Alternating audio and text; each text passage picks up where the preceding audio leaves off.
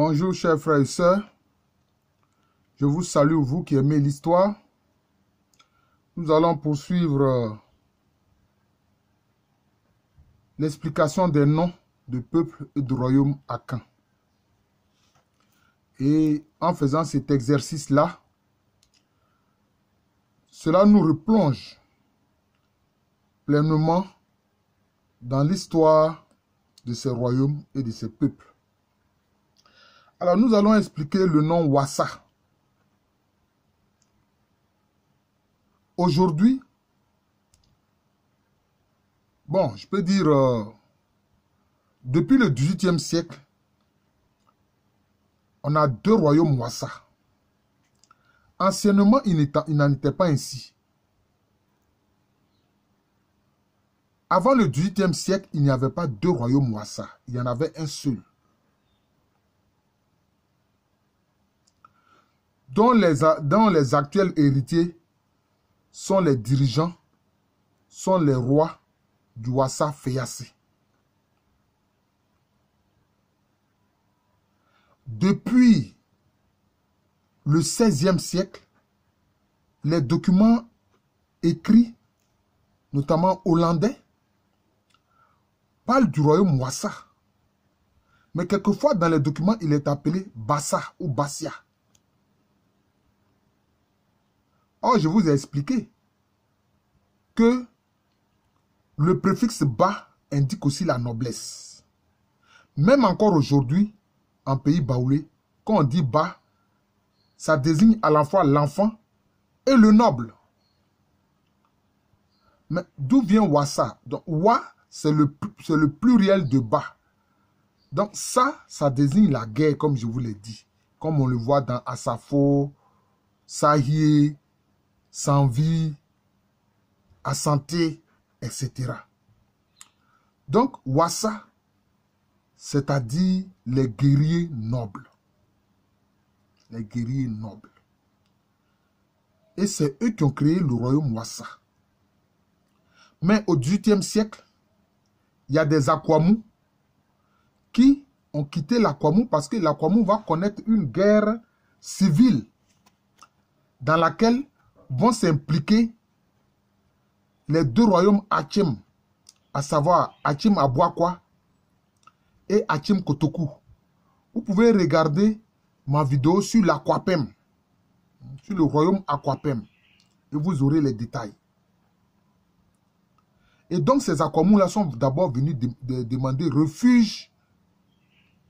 Quand la guerre civile a éclaté en Aquamou, ils sont venus demander refuge au roi du Wassa. Le roi du Wassa, qui lui est du matriclan, à Samankoma. J'ai fait aussi une vidéo sur ce matriclan, le matriclan à Samankoma, ou Mafole, qu'on appelle aussi Ekwana Ahene. En Ashanti, ce matriclan est appelé Bretou. Ils ont demandé asile. Mais quand, quand l'Ashanti, à travers ses conquêtes, a attaqué le Wassa, autour de 1726, 27, 28. D'ailleurs, le roi du Wassa, qui en ce moment s'appelait Nsifol Assare, a dû se réfugier sur la côte, notamment en pays Aranta. Et qu'est-ce qui s'est passé? Ces réfugiés à Kwamou, qui étaient dans le Wassa, ont tourné le dos à leur suzerain et ont pris le parti du conquérant Ashanti. Et à la fin du conflit, quand les Ashantis ont gagné la guerre vis-à-vis du Wassa, les Ashantis leur ont permis, ont permis à ces Akwamous-là, qui ont eu une attitude de traîtrise, de créer le royaume Wassa à Manfi. Qu'est-ce que cela veut dire Wassa à Manfi? C'est-à-dire les nobles guerriers au milieu du pays. Ama, peuple, fit milieu. C'est-à-dire qu'eux, ils ont créé un royaume au milieu d'un pays qui existait, qui préexistait, au milieu d'un royaume qui préexistait. Et donc, l'ancien royaume Wassa, toujours avec les mêmes dirigeants à Samankoma, qui ont eu deux grands rois, notamment Animri Pani et Animri Kwao, vont prendre alors le nom de Wassa Feyase. Wassa, noble guerrier. Feya, c'est-à-dire la colère tombe. Feya, fâché, assez par terre. Il veut dire que la colère se calme. La colère s'apaise. Vous voyez? Parce qu'ils estiment avoir été trahis par ceux qu'ils ont accueillis, ces Akwamou qu'ils ont accueillis. D'ailleurs, la plupart de ces dirigeants Akwamou, étaient du clan Abradé. Étaient du clan Abradé. Voilà. Mais, il faut dire aussi que dans la région anciennement, il y avait un royaume qu'on appelait Adoum. D'ailleurs, les anneaux de Côte d'Ivoire, leur nom en fait, c'est Adoum. Donc, ils ont mis le pluriel qui est devenu Anom et puis ensuite Ano. Adoum, ça veut dire simplement l'armée. L'armée. Mais les Adoum, les fondateurs du royaume Adoum, qui sont du clan Agona, c'est d'ailleurs euh, ce clan-là aussi qui a fondé le grand royaume d'Anchira, qui a appelé euh, Mvavile chez les Nzema. Chez les Nzema, comme moi je suis Nzema par ma mère, mais c'est ce matriclan auquel j'appartiens. Matriclan Mvavile ou Agona ou Anana. Alors le royaume d'Adoum va être vaincu par le Wassa. Et ça, les traditions ne veulent pas reconnaître cela. Ah, les hommes veulent toujours se glorifier. Et c'est pour ça que souvent, nous, les historiens, nous sommes confrontés à ces choses-là. Hein. Hein? Quand on révèle des points de l'histoire, les gens ne veulent pas en tenir compte. Alors, vous voyez que les traditions orales d'Adoum font un blackout, font silence sur les défaites face au Wassa, au royaume Wassa. Oh, ils ont été défaits. Anciennement, ils étaient un royaume indépendant. Le royaume Adoum. Vous voyez Donc c'est cela. D'ailleurs, leur roi qui a été vaincu par les Wassa, son nom a été ôté de la liste des, des, rois d'Adoum. Et quand ils ont été vaincus par le Wassa, c'est-à-dire les futurs euh, enfin les rois qui par la suite vont donner le, nom de Wassa Féassi à leur royaume. Mais qu'est-ce qui va se passer? Maintenant, le royaume d'Adoum va devenir simplement une chefferie au sein du Wassa Féassi. Et aujourd'hui encore, alors cette chefferie est connue sous le nom de Adoum Banso. Banso, c'est-à-dire littéralement sur le gouvernement, le lieu du gouvernement. Cela prouve que, anciennement, ils étaient un royaume indépendant, autonome. Donc, Adoum Bansou, ça veut dire l'armée du gouvernement établi.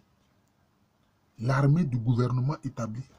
Mais il se trouve que, depuis leur défaite face au Wassa, bon, ils sont devenus simplement une chefferie au sein du royaume Wassa, qui depuis je peux dire 1730, a pris le nom de Wassa Fiasse.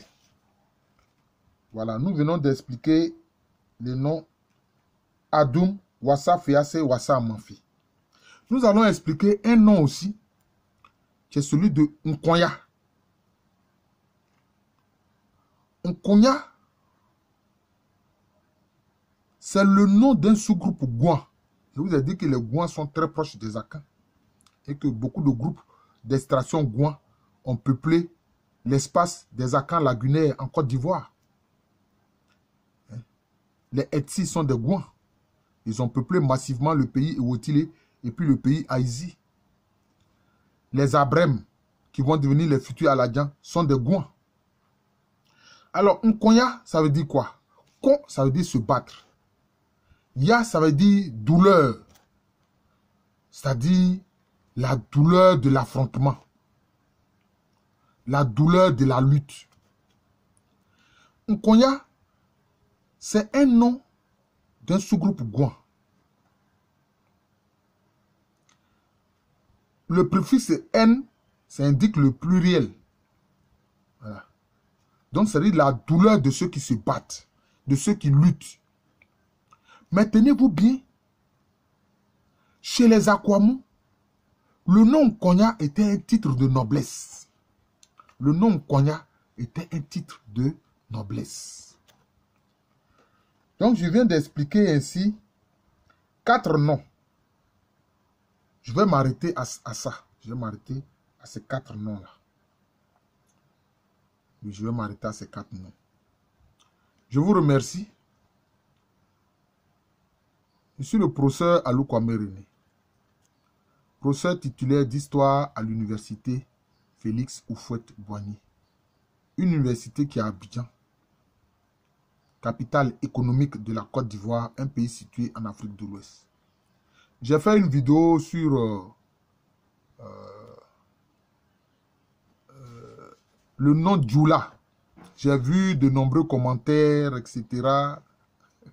Quelqu'un qui disait, mais le professeur Nyamke Kodjo a parlé de Djoula, mais il n'a pas parlé de Djoula en tant qu'ethnie, il a parlé de Djoula en tant que commerçant. Des gens qui menaient une activité économique. C'est cela.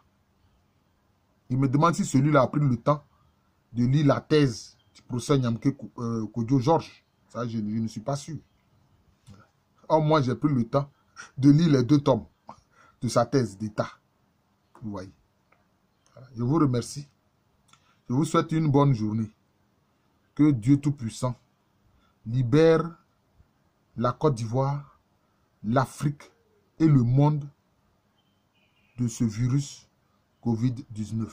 Merci encore et bonne journée à tous.